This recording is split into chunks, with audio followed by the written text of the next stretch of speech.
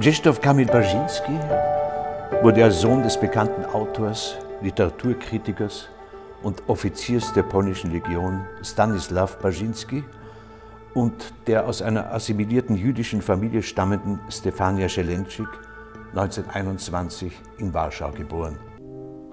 Ab 1937 gehörte er dem unabhängigen sozialistischen Jugendbund Spartacus an, einer Mittelschülerverbindung unter der Schirmherrschaft der polnischen Sozialistischen Partei. Dort arbeitete er in der Redaktion der im Februar 1938 entstandenen, mit dem Spartakusbund assoziierten Zeitschrift Schüsse mit. Aus dieser Phase seines Lebens stammt sein Pseudonym Emil.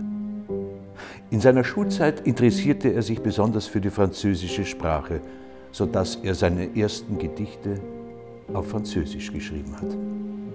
Seine erste Veröffentlichung war das Gedicht Ein Betriebsunfall.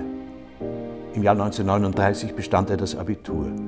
Ursprünglich wollte er Illustrator werden. Der Kriegsausbruch machte jedoch das Studium an der Akademie der Bildenden Künste unmöglich. Während der Zeit der deutschen Besatzung wohnte Baczynski in Warschau. Seine Mutter und er waren auf der arischen Seite der Stadt geblieben und mussten befürchten, bei Entdeckung ihrer jüdischen Abstammung standrechtlich erschossen zu werden. Seit 1940 publizierte Baczynski sowohl unter dem Pseudonym Jan Bugaj als auch anonym in den Gedichtbänden, Anthologien und Zeitschriften der polnischen Untergrundbewegung. Um den Lebensunterhalt zu verdienen, arbeitete er nebenbei unter anderem als Glaser und Schildermaler. Gleichzeitig bildete er sich als Grafiker weiter. Von Herbst 1942 bis Sommer 1943 studierte er polnische Philologie an der Geheimen Universität Warschau. Am 3. Juni 1942 heiratete Baczynski die 20-jährige Barbara Drabczynska, ebenfalls eine Studentin der polnischen Philologie. Im Sommer 1943 schloss sich Baczynski der polnischen Heimatarmee an. Kurz darauf war er bereits stellvertretender Kommandeur des dritten Zuges der dritten Kompanie des Bataillons Parasol.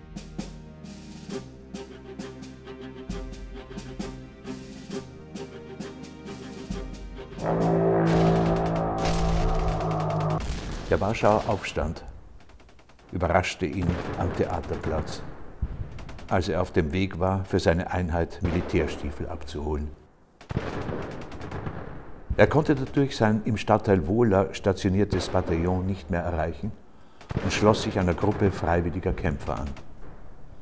Am 4. August 1944, etwa um 16 Uhr, kam er bei den Kämpfen in der Gegend um den Theaterplatz im Alter von 23 Jahren ums Leben, höchstwahrscheinlich durch die Hand eines deutschen Scharfschützen. Am 1. September wurde auch Baczynskis schwangere Ehefrau ein Opfer des Aufstands. Sie ist neben ihm beerdigt.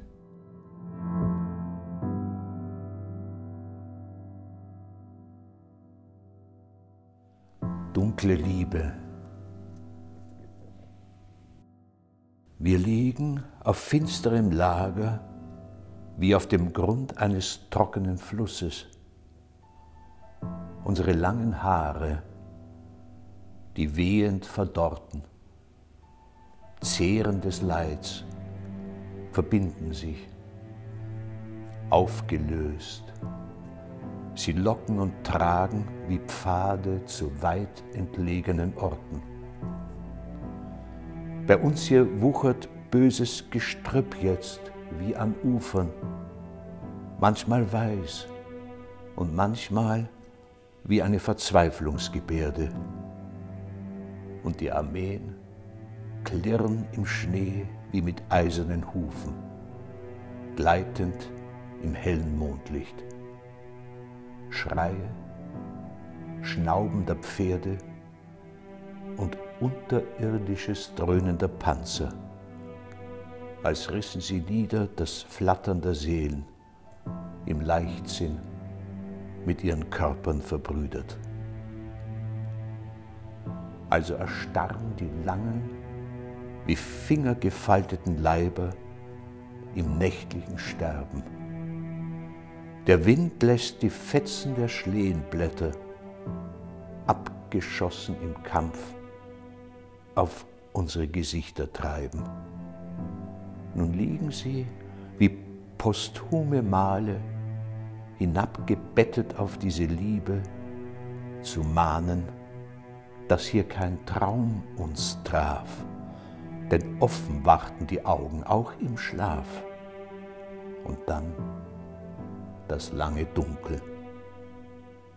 Ich fahre auf in Nächten, wie mich die Erde hergab, ohne Waffe und nackt, den Stiel der unerfüllten Körper loszuflechten und nachts Soldat zu sein in gnadenloser Treue. Bevor ich aber gehe, bevor die Waffe feuert, sehe ich, wie die Wolke deines Körpers klagt.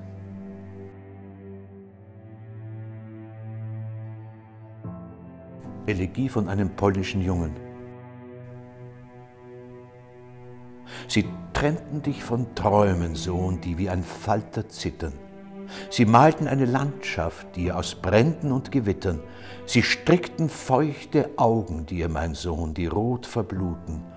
Und mit Gehängten säumten sie den Fluss der grünen Fluten. Sie prägten dir die Heimat ein, mein Sohn, mit toten Schritten.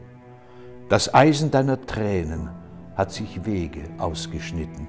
Sie zogen dich im Dunkel groß mit Angst, die alle aßen und du gingst blind die unwürdigste aller Menschenstraßen. Du gingst, mein heller Sohn, die schwarze Waffe in den Händen, erlebtest jenen Stundenschlag, mit dem die Übel enden, und deine Hand bekreuzte noch die Welt, bevor sie sank. War es die Kugel? War es das Herz, was da zersprang?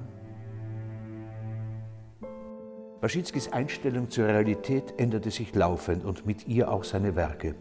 Zwei Pole schälten sich heraus, die reine Lyrik, die der Fantasie den Vorrang gibt, und die engagierte Lyrik, die sich mit dem aktuellen Zeitgeschehen auseinandersetzt.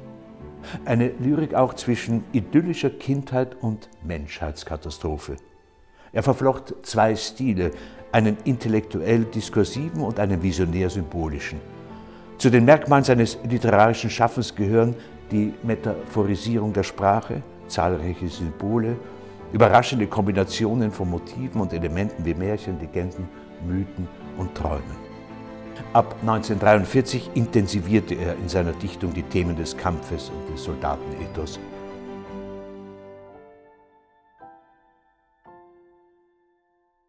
Baczynski gilt als einer der hervorragendsten Dichter der polnischen Kriegsgeneration. Miserere 1. Da stehen wir über der tragischen Erde. Das Schlachtfeld raucht vom Absud zerschlagener Taten und Träume. Mit blutverkrusteten Fragen nehmen wir die Helme ab, die uns an die Köpfe gewachsen sind Köpfe, rote Rosen, heften wir an die Helme von Generationen. Ich sehe die Zeit überwuchert von Rauchfederbüschen. Ich sehe die Zeit, Akropolis, versunken im Gräserurwald. Stürze dich, letzter Kain, auf den letzten Abel. Würge. 2. Vom Begräbnis des letzten Menschen kommend, werfe ich eine Handvoll Luft, eine Lerche, zum Himmel, wie eine Herausforderung und lasse die Erde fallen, wie eine Träne über das Weltall.